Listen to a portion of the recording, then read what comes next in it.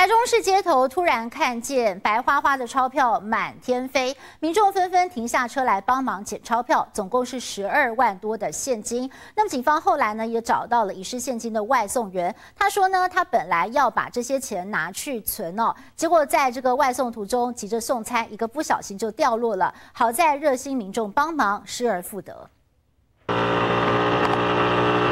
天上真会掉钱下来，从行车记录器看到，机车呼啸而过，接着大把的钞票，有百元钞、千元钞、五百元钞，跟着满天飞。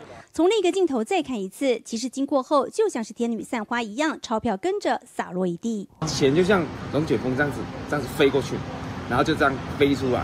当时有不少车辆经过，都没人发现。好几分钟后，才有加油站员工看到。接着有四五名骑士陆续停下来捡钱。远警获报赶到，也在车水马龙的车阵中，一一将散落在地面以及安全岛上的钞票拾起。算一算，总共有十二万多。我们都不知道谁呀？我都唔知个力量啊？伊阿抓，我看伊，全部都捡起来了。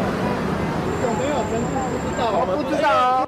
远景钓鱼的监视器画面，找到了遗失现金的外送员。他说，钱是在市场工作赚的，当时原本要拿去银行存，途中有外送工作，急着送餐，才会不慎掉落。